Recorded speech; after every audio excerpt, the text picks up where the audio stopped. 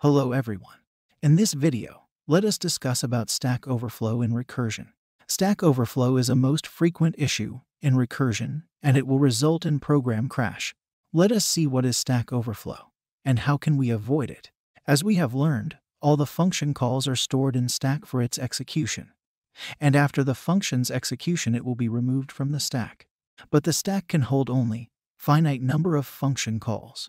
Let us say n which means the stack has the capacity to hold n function calls. And when the number of function called exceeds n, it will result in stack overflow. In recursion, every recursive call will be pushed into the stack for execution. So in recursion, there are many chances that it can overflow the stack. Let us understand it with examples. First, if there is no base case, there will be infinite function calls and it will cause stack overflow.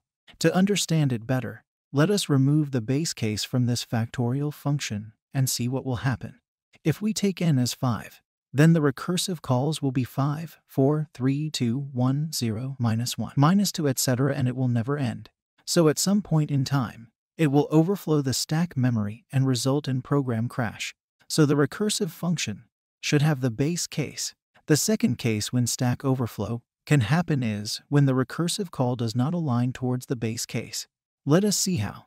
Let's modify the recursive call to factorial of n plus 1 instead of factorial of n minus 1. Now what will happen? If we take n as 5, the recursive calls will be 6, 7, 8, 9 and it will never end. And this will eventually overflow the stack and result in program crash. So that's it. We have learned the stack overflow with suitable examples.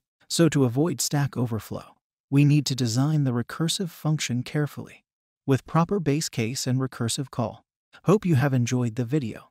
We'll see you in the next video. Thank you all.